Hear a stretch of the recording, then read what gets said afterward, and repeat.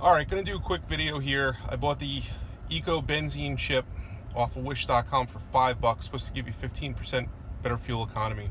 Couldn't find any reviews I liked online, so I'm gonna make my my own in the most scientific way I can.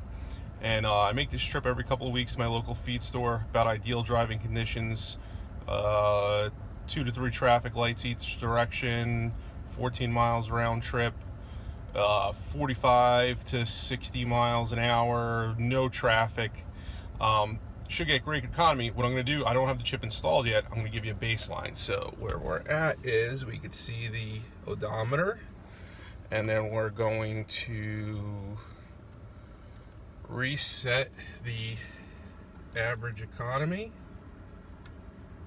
and we're going to make the trip come back, do another short video with the average economy. When I get the chip, install it, make the trip again.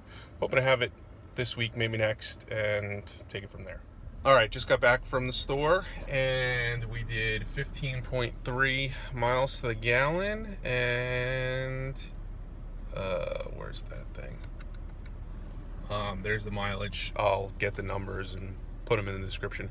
Um, few things for the repeatability of this is I had the air conditioning on because it's hot and humid out today, so I have to have it on next time when I do it. Also, I started the car from a cold condition. Um, making a short trip like that, starting cold and starting hot, if I had gone to the grocery store before that, makes a tremendous difference in it. Also, notice the fuel gauge is I'm between a quarter and a half. This is a Chevy Suburban. It's got a 31 gallon tank, which means you're carrying around 300 pounds of fuel in the car between the 300 pounds of fuel and the 150 pounds of dog food and chicken feed I just picked up. It's a lot of weight, and that'll make a big difference when you're stopping and starting. This is a big, heavy truck.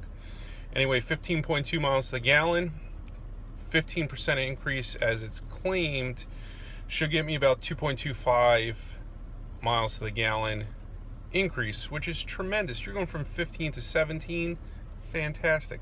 I don't believe I'm going to get that but I paid five bucks for this.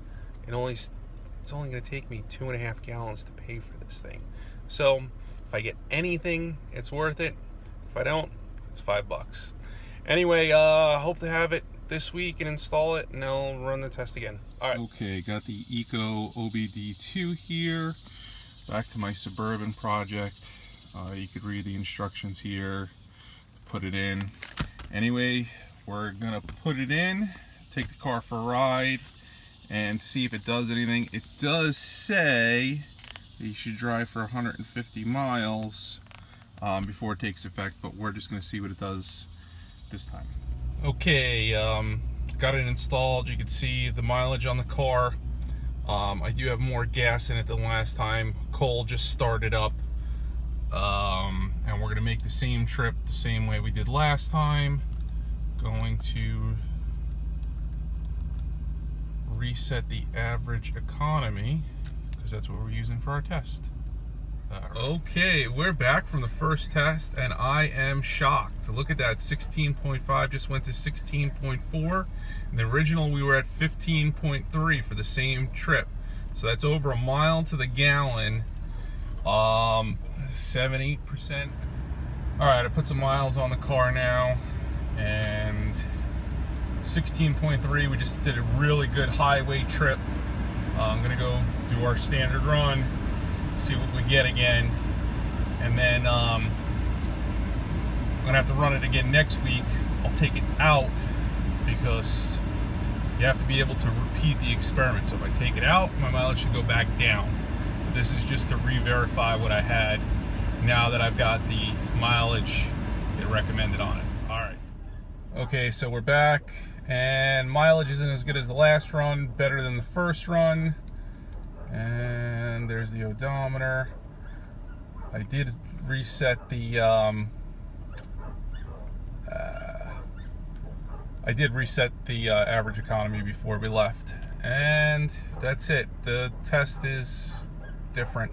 Okay.